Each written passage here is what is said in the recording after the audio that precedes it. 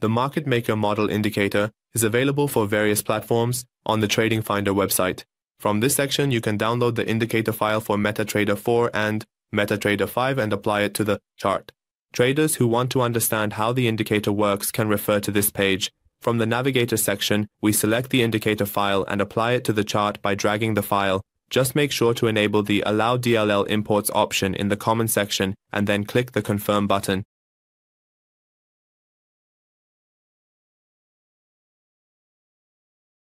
From the Navigator section, we select the indicator file and apply it to the chart by dragging the file. Just make sure to enable the Allow DLL Imports option in the Common section and then click the Confirm button. But before that, I will go to the settings in the Input section. Just make sure to check the Allow this query option in the Common section and then click the Confirm option. But before that, Went to the input section in the settings, adjusting settings as this indicator has many filters, issuing strong but challenging signals. For instance, it's signaled here. The indicator works by green areas representing FVG ranges on a higher time frame, visible here. There is an FVG range for us, and as price returns, it draws it. The bearish FVG is displayed in red, while purple shows structural breaks or character changes. Here, a structural level broke down, then moved up, forming a bullish structure. FVG range is drawn, price returns to it, bearish FVG is red. Purple indicators show structural breaks or character changes. Structural level formed, broke down, moved up. Indicating bullish structure, price moves up, retraces down, pullback forms, moves up again. Finally, buy signal issued in settings. The break of the structural level, or the change of character, is shown to us here, where a structure has formed. This level has been broken downwards, and then it has moved back up again, indicating that an upward structure has formed for us. After that, with the price moving upwards and then retracing downwards, it has created a pullback in this range, which then moved upwards again. Finally, in this section, it has issued a buy signal for us. In the settings, under the input section, there are options available where you can change the display settings. You can customize customize the theme or template of the indicator, which has three modes, dark theme, light theme, and auto. And then, as the price moved up and then back down, it formed a money market for us in this range, which then moved up and finally gave us a buy signal in this section, in the settings section. In the input section, there are options available for us, where, in the first part, you can change the display settings. You can adjust the theme or template of the indicator which has three modes, dark theme, light theme, and auto. By selecting the dark theme option, a dark template will be applied to the chart.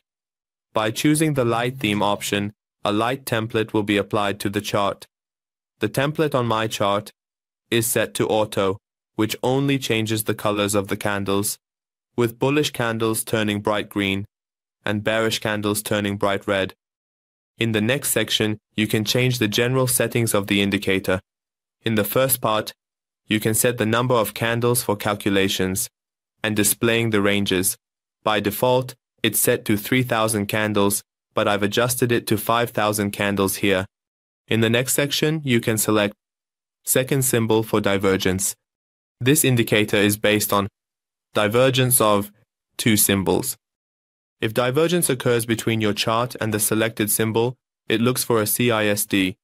It's set to GBPUSD, but we're on USD, where divergence is identified. A CISD forms and moves up. With a pullback to the FVG range, a signal is issued as the candle closes above this level. Here, it's set to the GBP-USD symbol, but we are on the EURUSD symbol, identifying a divergence, then a CISD formed, moved up, finally, price returned to FVG, moved up, broke a level, then a pullback to FVG, issued a signal with candle closing above. You can enable, disable higher time frame ranges. Here, I disable that, set template to dark, click confirm. You see my template changed to dark, higher time frame FVG disabled. Finally, price returned to FVG, went up, broke a level, and with candle closing above, a signal was generated. And finally, you can enable or disable the display of higher time frame ranges.